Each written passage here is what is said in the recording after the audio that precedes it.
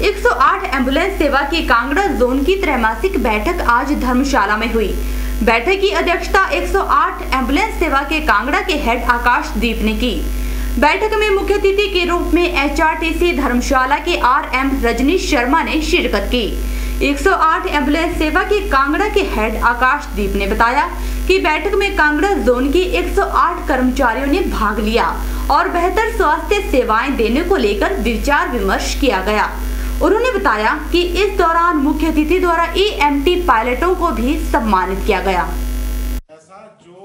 108 ambulance सेवा के कांगड़ा के हेड आकाशदीप ने बताया कि 108 एंबुलेंस सेवा में तैनात कर्मचारियों द्वारा कई जिंदगियों को समय पर उपचार देने के चलते बचाया जा चुका है और कर्मचारी बेहतर स्वास्थ्य सुविधा देकर अनमोल जिंदगियों की रक्षा कर रहे हैं।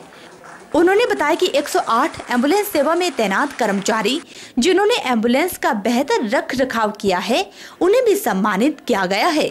इस अवसर पर मुख्य अतिथि द्वारा 108 एंबुलेंस सेवा की पुस्तिका का विमोचन भी किया गया। आज हमारा 108 का पूरा स्टाफ यहाँ पे जो कांगड़ा जोन का है, एक हुआ था। इसमें हमारा मेन पर्पज़ ये था, जितने भी, ये क्वार्टरली मीटिंग होती है।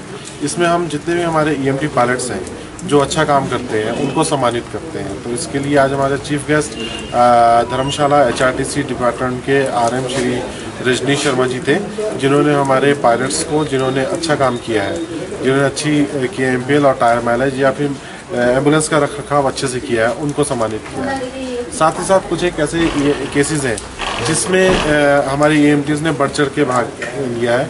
और अगर वो उस वक्त ना उनको फ़र्स्ट एड या प्री हॉस्पिटल किया देते तो हो सकता था वो जाने ना बचते तो उनको भी आज उन्होंने सम्मानित किया। के चैनल के लिए धर्मशाला से निप्पी बादल की रिपोर्ट।